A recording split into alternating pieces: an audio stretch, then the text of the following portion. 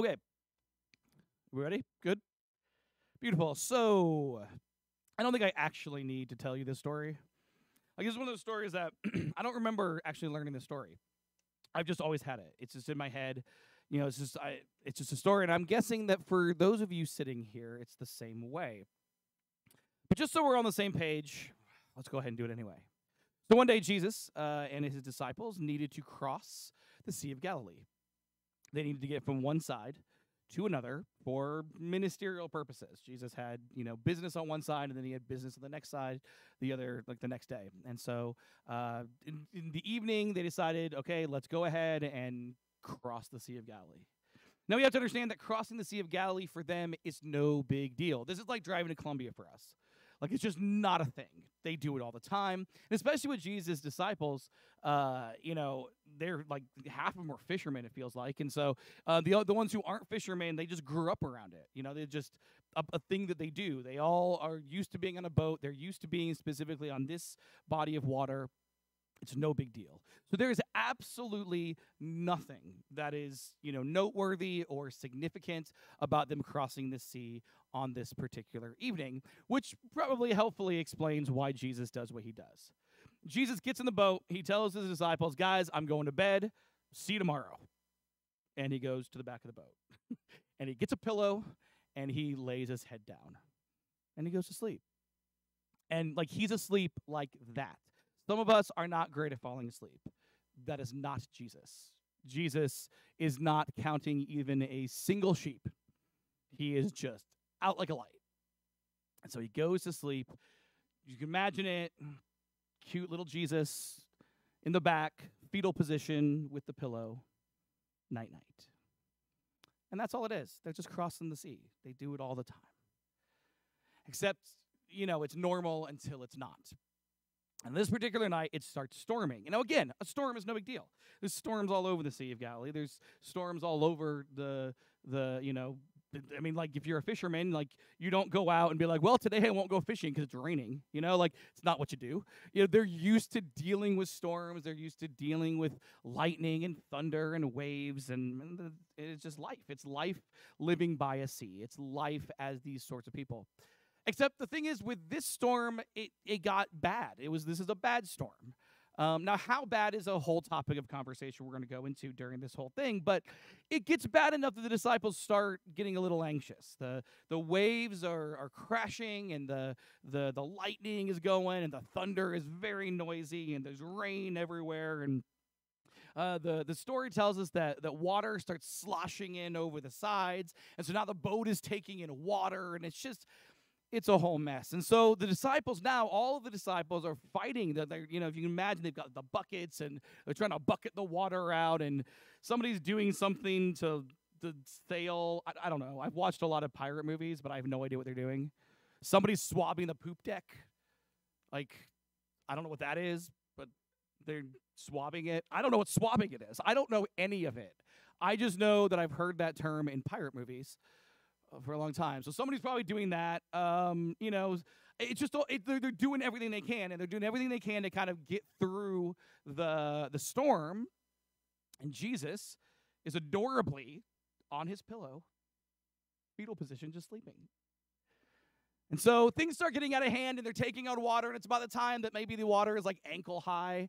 I don't know, whatever it is, it's it's starting to freak everybody out. And the disciples do, you know, they decide that they need to find the guy that they lean on when they freak out. And it's Jesus, who's still sleeping. The Son of God cannot be accused of being a light sleeper. He is just sleeping through this whole thing. And so the disciples go and they wake him up.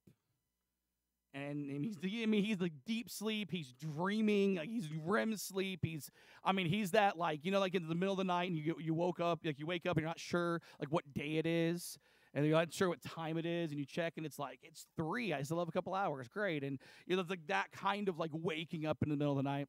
That's Jesus. And the disciples, they they they they come at him not with like, you know, they're panicking. So they're not like, oh Jesus, could you please help us? Instead, they say, Jesus, Jesus, man, why do you not care that we're all gonna drown? Is how they address Jesus. And I think if you got woken up in the middle of the night, like maybe by your kids, with an accusation of why don't you care, you might understand why Jesus was a little bit annoyed with the situation. And so the Bible just tells us, like the it's it's funny, like the way it's written. Uh, you know, it's written in like it, it's in a different language. We've translated it, and so you know, at this point, it's it, the, the Bible's kind of a little sterile about how it tells us what happened. So let me just tell you what I think happened here. Okay, so Jesus is asleep, and his disciples are now yelling at him, and he kind of groggily wakes up, and he's like, "Have a sleep," and he's like, "What?" And he sees there's a storm, and he sees that like his disciples are yelling at him. And so Jesus yells at the storm, Hey, pipe down. And the storm pipes down. And then Jesus looks at his disciples. He's like, Guys, why don't you have any faith at all? I'm going back to sleep. And like that, Jesus is out like a light, sleeping, cute on his pillow, fetal position. The storm is calmed. Everything is good. Jesus is asleep again, having piped down the storm. The Bible says he rebuked the wind and the waves. That's yelling a pipe down. And the disciples are they're not like, "Oh, cool, Jesus is that's that was pretty neat. Uh better listen to him and trust him next time." Instead, uh they're terrified. They're absolutely terrified of Jesus. They're like, man, what? Like, who is this guy who's controlling the storm and the weather? And who is this guy that can just yell at a storm and it stops? They are terrified of Jesus. And that's the end of the story. Now, that's a story, again, I don't think I needed to tell you that. I think I could have just said, hey, you know that time that Jesus calmed the storm? And you guys have been like, yeah. And I'd be like, yeah, cool, let's talk about that.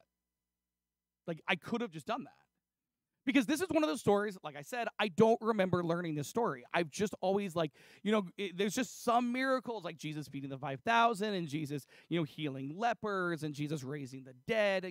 Like this is just in that category of of miracle of jesus story that we just know. And it's not just me. It's not just you know uh, in case you're like well i don't think it's that big of a deal. Just know this that like over the last couple thousand years this is one of the most commonly depicted stories in like like ancient art.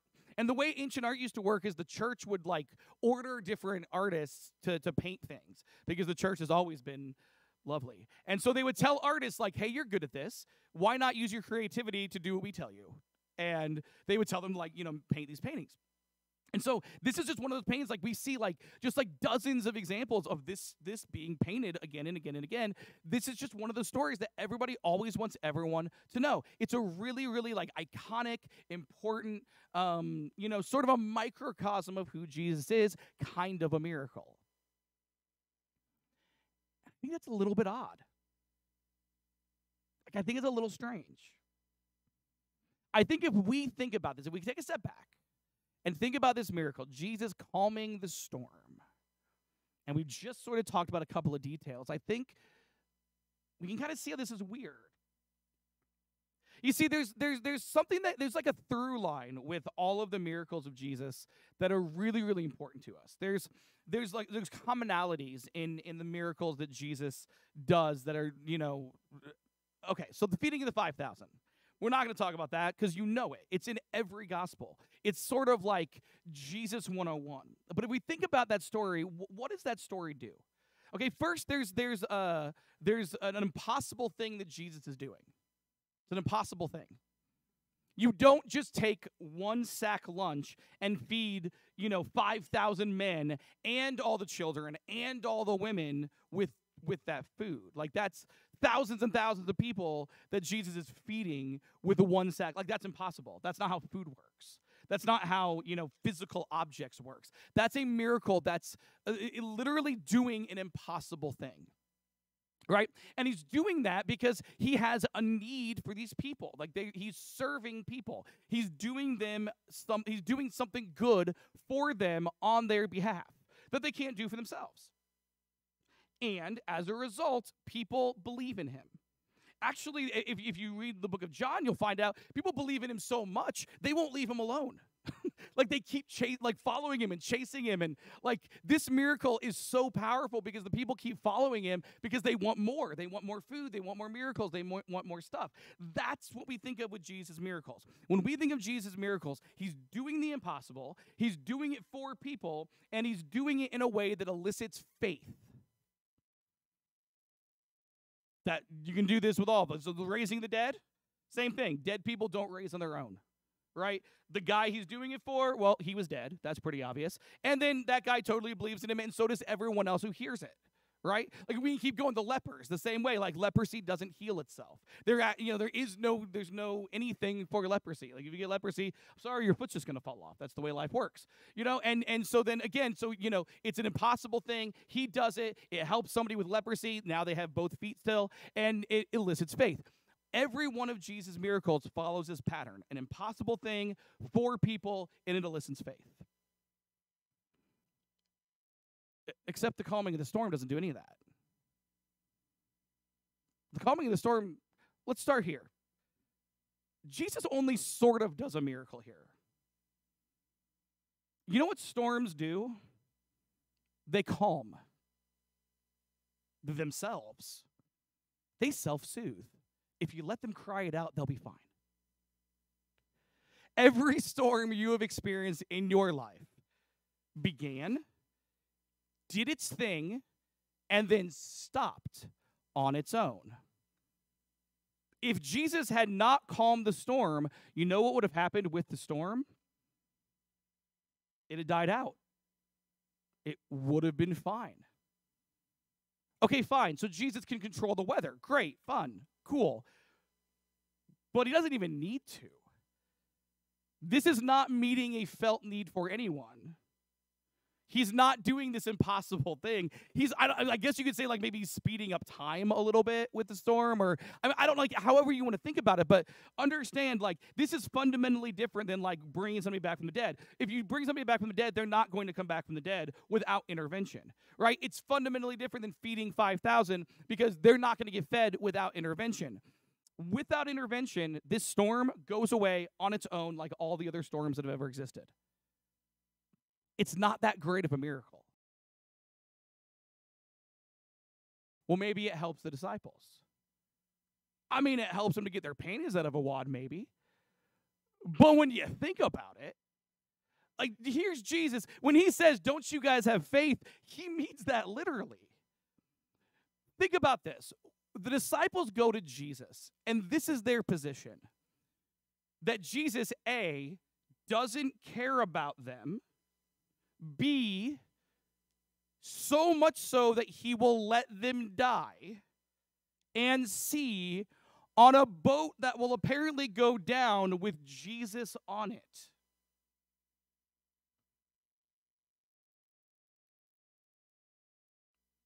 I mean, think about the logic here. When Jesus says, Don't you have faith? What Jesus meant was Hey, idiots, do you really think you're in danger right now? Newsflash this is in Mark chapter 4. This is in Matthew chapter 8. This is in Luke chapter 8. And I know the story hasn't been written, so they don't understand. But that's why Jesus is saying, trust me. Like, there's 16 chapters in Mark. There's 28 in in in Matthew. There's uh 24 in Luke. We're like eh, a third of the way, a fourth of the way through the story. Jesus is not going down with the ship. He is not going to die here. The disciples are not going to die this way. He's told them they're going to die. Great, but not like this. They got scared. But getting scared does not mean they deserve a miracle.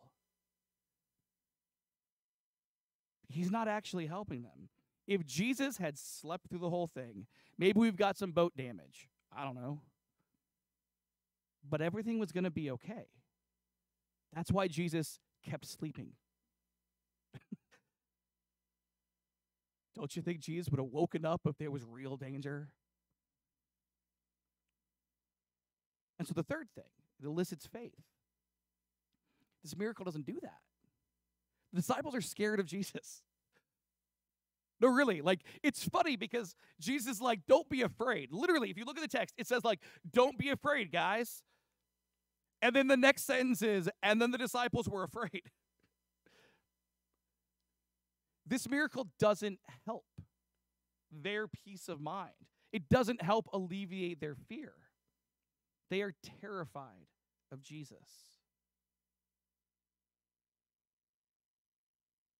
Why is this miracle? Like, I can accept that this story exists. Like, I can accept that this happened. This actually, I feel like a variation of this theme happened a whole lot, and they just didn't write it down. Like, the disciples freak out about something. Jesus does a miracle to, like, make them shut up. And then he wants to get some sleep. And so I'll do this miracle. Let me get some sleep. We'll talk about it in the morning. And then the, ter- the disciples are terrified because, well, that was scary. Like, I could believe that that happens on a weekly basis. Because if I was a disciple, I would freak out all the time. I would be like, Jesus, don't you care?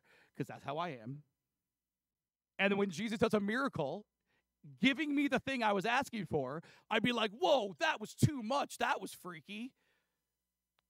Because that's how I am. I totally buy that this story happened. I guess my big question is this Why is this story so beloved? Like, why is this story something I never learned? Why is this on like like if you were to make like a Mount Rushmore of Jesus' miracles, it's probably on it. Like if you were trying to explain who Jesus is with just and you're like, look, you get four miracles in the cross. This is probably one of them. At least judging by like what we teach in Sunday school and you know what in what we learn in, in history and everything else. Why? I think we need to just pull back a little bit more. And we can see something that we don't often think about, but we really, really should. And there's a couple passages of scripture I think that kind of help bring us to a place where we can understand why this story is is so beloved, but also why this story should be on the Mount Rushmore. I'm not arguing that it should be on Mount Rushmore. I'm just saying maybe we don't understand it. So let's back up a little bit. Let's zoom out. And let's visit something the Apostle Paul writes. About 30 years after all this, he's writing to a church in a place called Philippi, and he's talking about who Jesus is. And this is what he says about Jesus. It's in Philippians chapter 2, and it goes like this God elevated Jesus to the place of highest honor and gave him the name above all other names. That at the name of Jesus, every knee should bow in heaven and on earth and under the earth, and every tongue declare that Jesus Christ is Lord, the glory of God the Father. Now, to understand what Paul is saying here, we need to put ourselves in the mindset of ancient people. And this freaks people out a little bit for us for me to talk about this. Just just go with it. Just accept it.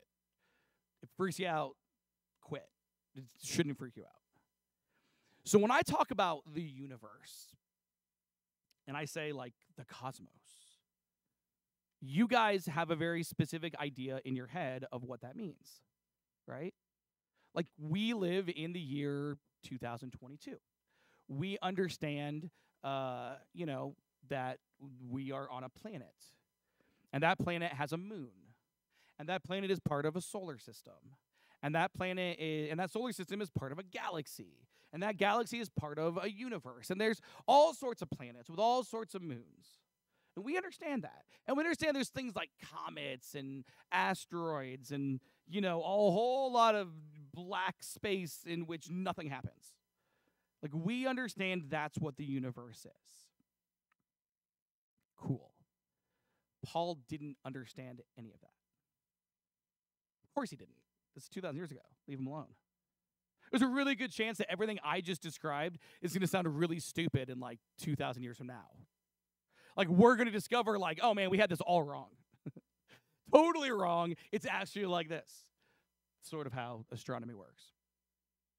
For ancient people, the way they understood the world was that there is this place called the earth. And that's what everything revolves around. That's what the whole world, that's all, all of reality, everything in the cosmos is all about us. And the universe actually is a three tiered universe. Think of it like a house. The main floor is the earth. Of course it is. We're the important ones, we're the center of everything. There's stuff above the earth, it's called the heavens. There's the heavens, and there's stuff below the earth. Sometimes the names were given for that too. But there's stuff above the earth, there's stuff below the earth, and then there's the earth. It's like a house with three stories. It's a three tiered universe. It bothers people to know that Paul thought this, that Paul has no idea, like, uh, that that's not the way the world works. But remember, Paul is a guy whose education exclusively comes 2,000 years ago. I understand theologically he's writing inspired works by God, but God did not inspire his astronomy, did not inspire his science class. So, what does it mean then? why am I telling this? Because Paul says that Jesus is at the place of the highest honor and gave him a name above all other names, that at the name of Jesus, every knee should bow in heaven, above the earth, on earth, and under the earth.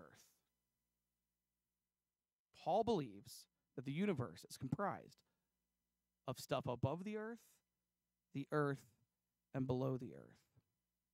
When he says above the earth, the earth, and below the earth, what he's saying is all the things, everything.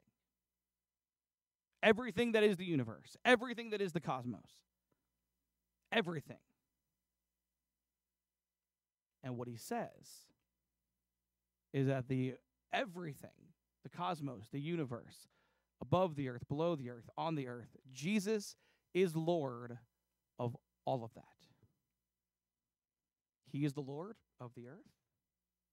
He is the Lord of whatever's below the earth. He is the Lord of whatever's above the earth. Because to Paul, Jesus, on a fundamental level, is the Lord. And there is nothing, there's nothing that's outside of him being the Lord. He's Lord truly of all. That's Paul. About 30 years later or so, ah, give or take, depending on how we want to date things, the last book of the New Testament is written. John, Jesus' best friend, sequestered on this island. Those idiots in Rome gave him a pen. Instead of just not letting him write, they're like, ah, write all you want. What's the worst that can happen? Could you write a book that's critical of the empire and would last for two centuries or 2,000 years? No, surely not. They were wrong. That is what he did. As John writes uh, what we call the book of Revelation, he actually adds a whole new wrinkle to this, a whole new addition to this concept. This is what we read uh, in the, the first chapter of the book of Revelation um, from, from John and you know, Jesus, really. It says, Grace and peace to you from the one who is, who always was, and who is still to come, from the sevenfold Spirit before his throne, and from Jesus Christ. He is the faithful witness to these things, the first to rise from the dead, and the ruler of all the kings in the world. All glory to him who loves us and has freed us from our sins by shedding his blood for us. He has made us a kingdom of priests for God his Father all glory and power to him forever and ever. Amen. Look, he comes with the clouds of heaven, and everyone will see him, even those who pierced him, and all the nations of the world will mourn from him. Yes, amen. I am the Alpha and the Omega, the beginning and the end, says the Lord God. I am the one who is, who always was, and who is still to come, the Almighty One.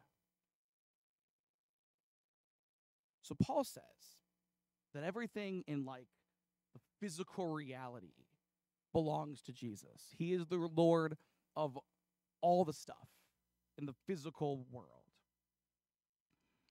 And now John writes this letter. And he basically makes a timeline. So Paul is the three tiered universe like this. John is making a timeline like this. And he says, Jesus is the Alpha and the Omega. He's the beginning and he's the end. And what's hilarious is we spend so much of our time thinking about and arguing about beginning and end, right? If you think about like the arguments in the church for the last couple thousand years, how many arguments revolve around Genesis? How many arguments revolve around Revelation? How many arguments uh, revolve around like how we came to be? How many arguments revolve around like what's going to happen in the future, right? Like we just like that's our favorite thing as as as Christians to do this. And yet according to John, Jesus is the Lord of the beginning, whatever it is, and the end, whatever it is. Jesus says, I was, I am, and I am to come. I don't know what that means, other than this Jesus is the Lord of the past, Jesus is the Lord of the present, Jesus is the Lord of the future. Whatever it is, however it is. Paul says that Jesus is the Lord of all physical reality. John says Jesus is the Lord of time, eternally, backwards and forwards and now. These descriptions of Jesus are all adding up to one very simple sentence Jesus is the Lord. He's the Lord of everything. There is nothing outside of his reach. He is the Lord of the past and the future and the now and the heavens and below the heavens and, and he's in all the asteroids and all the comets and all the planets and all the moons and all the solar systems and, and all the galaxies and all whatever. Like now we think there's more universes. Cool. Jesus is the Lord of all that too. Great. Great big multiverse. There's like, you know, 10,000 Drews preaching in 10,000 churches throughout the multiverse. Jesus is Lord of all that stuff too. Maybe in one of those universes, I'm the shortstop on the Cincinnati Reds. They're probably still in last place. Let's be real honest, especially if I'm the shortstop. It doesn't matter what it is. What the writers in the New Testament are trying to tell us is that no matter what it is, Jesus is Lord.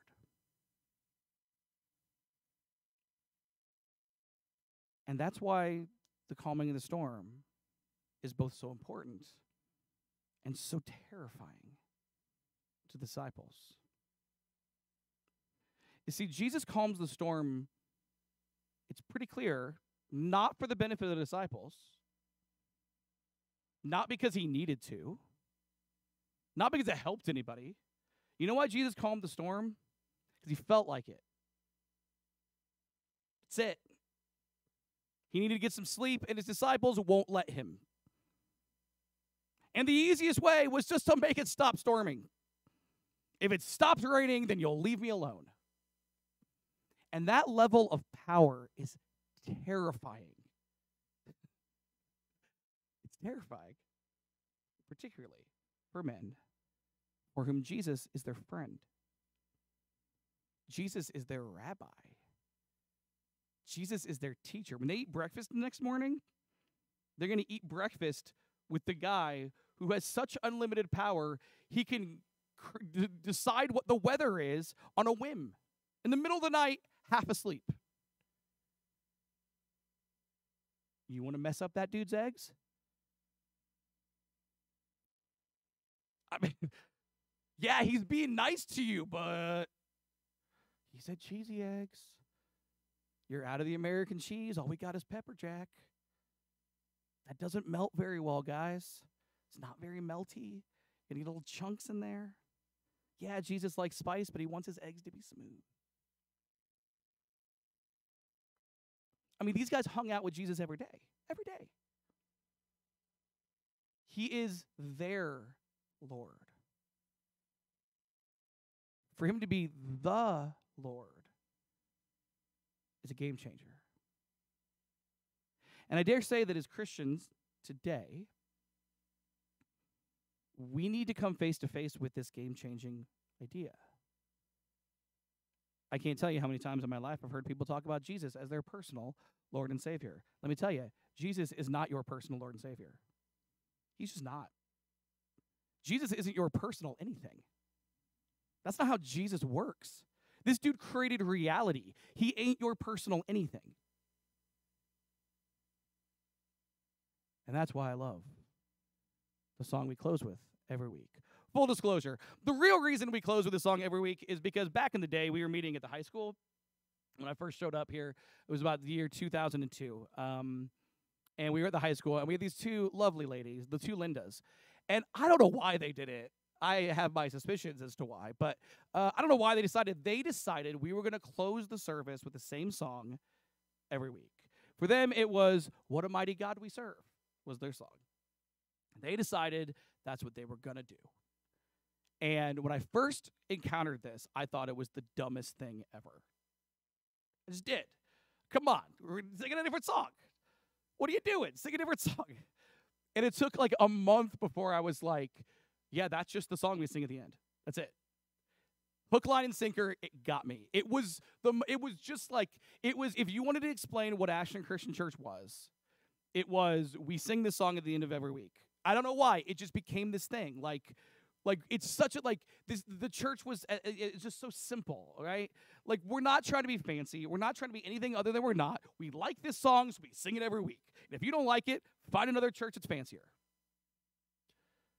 and i loved it oh i loved it so when we moved over here and i started doing the music uh, for the lindas or with one of the lindas and, and all that when i started doing that uh, i was just like man we got to come up with a song and we we we went through a few songs, and then we came up, then we we came across this one.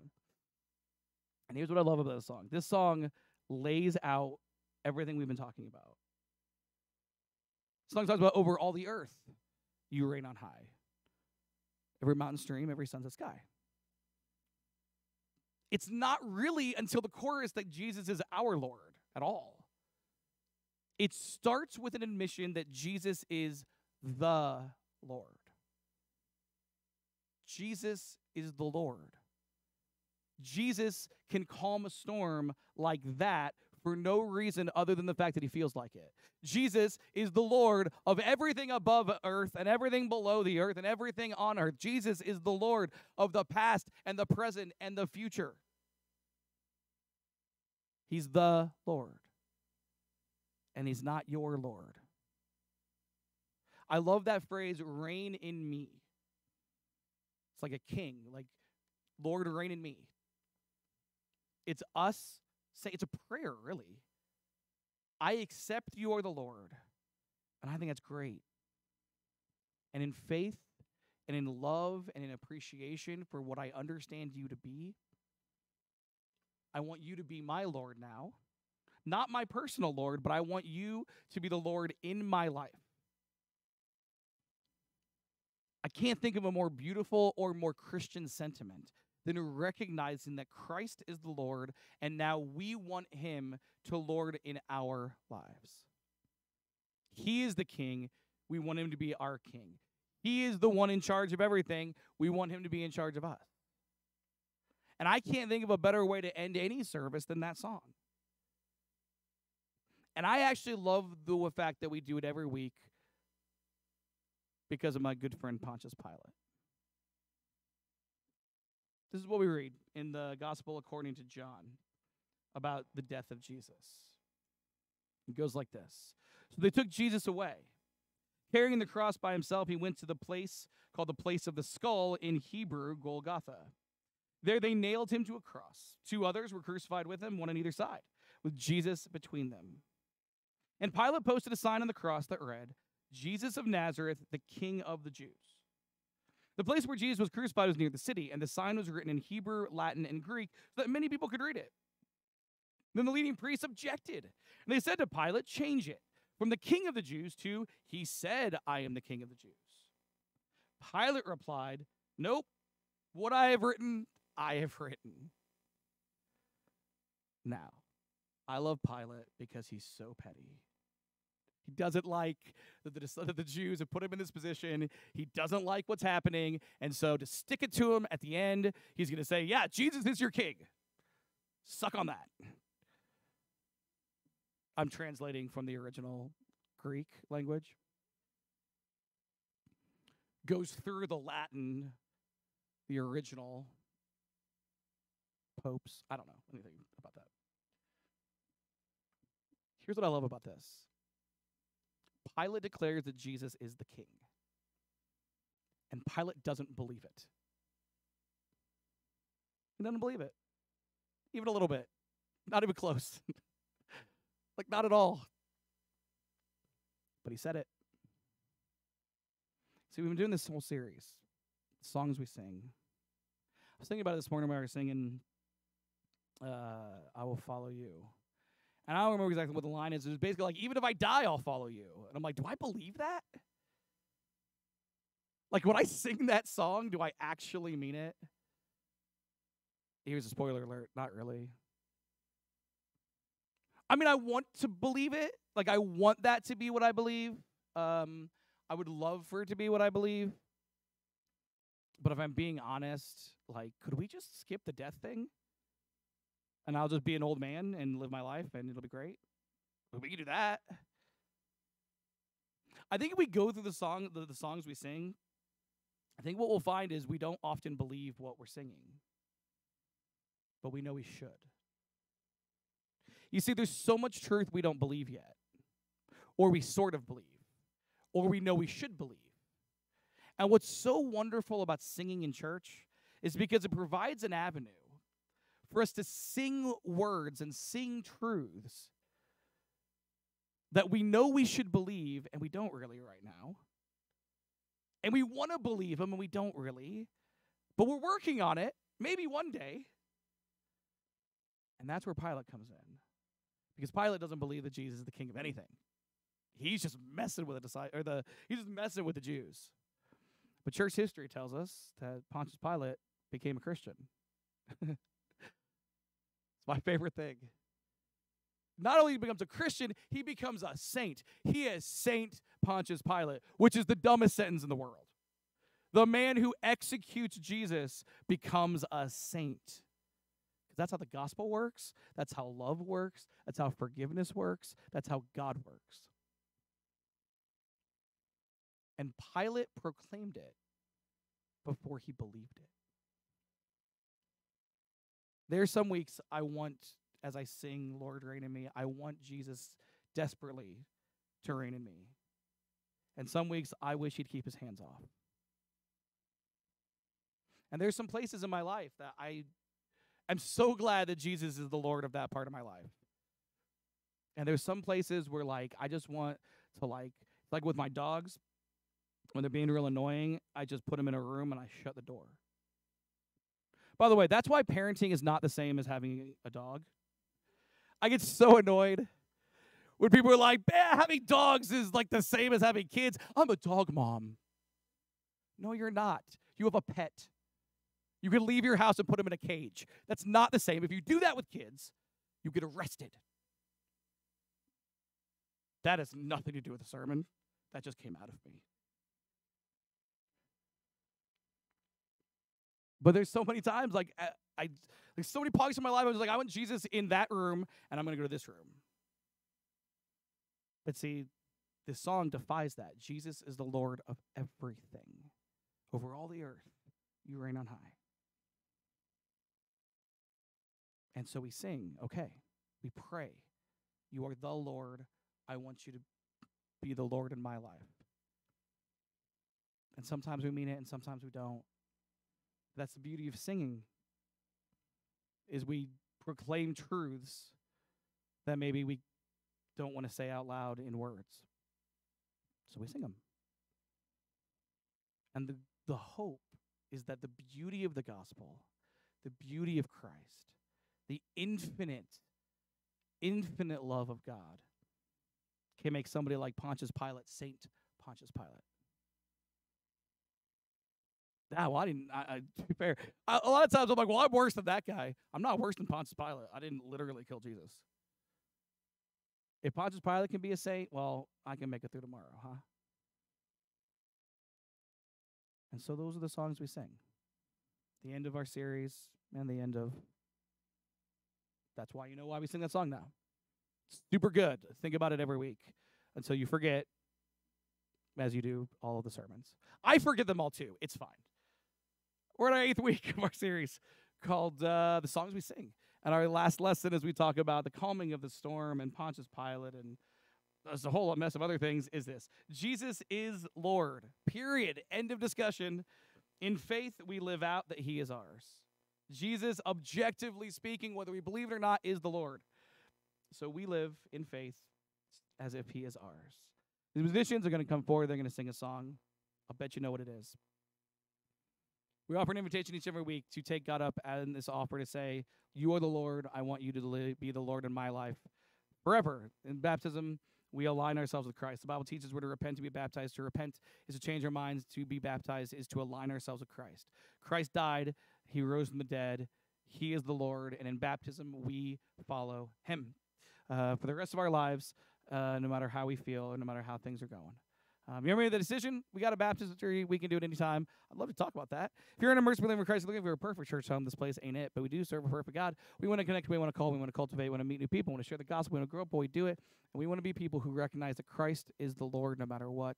And therefore, therefore, we live out his lordship in our lives as well. As we stand.